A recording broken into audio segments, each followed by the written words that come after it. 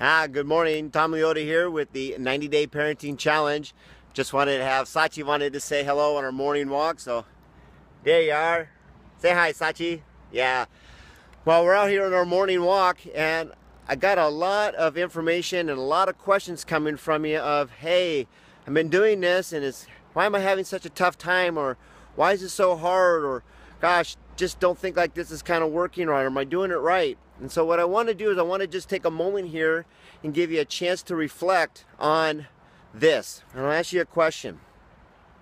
What was something that you might have done in your life the first time when you made change that you got right the first time? Like right out the gate or within a very short window. Was it walking when you were between the ages of 1 and 2? Was it riding a bike when you're between the ages of 5 to 10? Could have been driving a car for the first time when you're somewhere between 14 to 20. Or better yet, that first date. Was there anything that you can authentically think about in your life that when you wanted to make change and you took on a new adventure, did you ever get it right the first time? And if I'm like you or you're like me, you're going to probably think, hmm, can't really think of anything.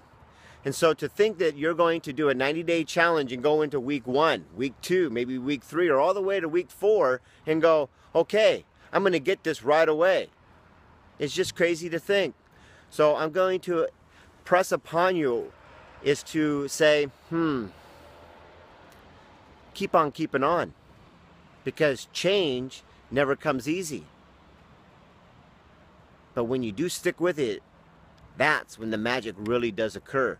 So go back and reflect on how many times you ran into parked cars or ran into those curbs that jumped right out in front of you when you're riding a bike for the first time.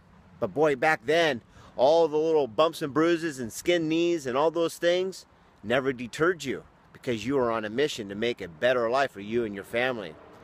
So dig deep on where you're at and keep moving forward because it's never easy. And no, we don't ask for a easier child to work with or an easier family life. But what we do ask for is the skill set and the ability to move more elegantly through all the adversities in life that are stopping us because those will never change. But we can change, and when we have the life skills in order to make that change, that's when you'll actually see things go from hard to easier. So keep on keeping on, and remember if it's not this, then what? And if it's not now, then when? And if it's not you, then who is going to be that shining superstar for your kids and your family? So thank you so much for keeping on, keeping on, and always remember to keep moving forward. Bye for now.